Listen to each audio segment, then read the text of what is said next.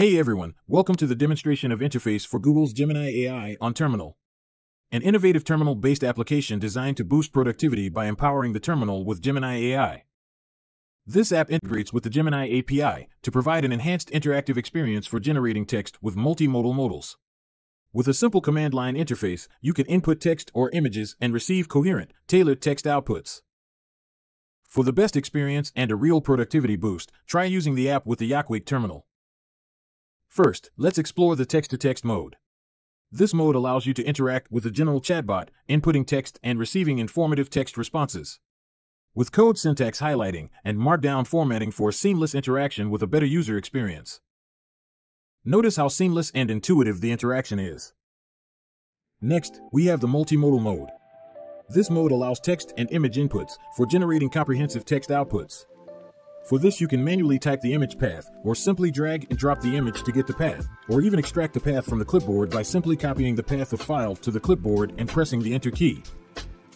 To get started, first obtain your Gemini API key from AI Studio and paste it into the keys.json file.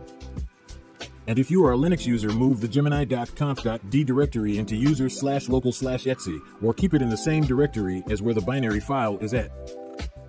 When it comes to installing the app, there are two ways you can do this. First method is download the binary file from the My GitHub and execute the binary file. Or clone the repository from GitHub and build it yourself. For Linux users, you can move the binary into slash user slash local slash bin directory and use the Gemini AI as a standard Linux command. Or you can execute the binary file directly in the terminal. Furthermore, customize your experience with a variety of options including Gemini model, system instructions and generation configs, and more. Worried about safety? App includes settings to filter out harmful or inappropriate content, ensuring a safe user experience from the same config file.